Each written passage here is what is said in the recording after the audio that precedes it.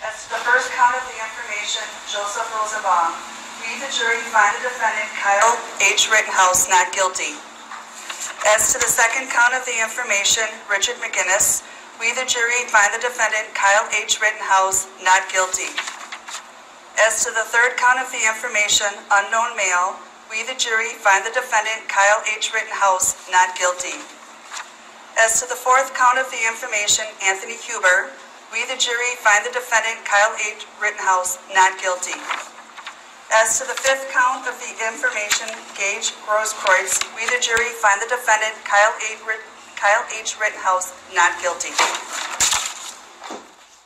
Members of the jury, are these your unanimous verdicts?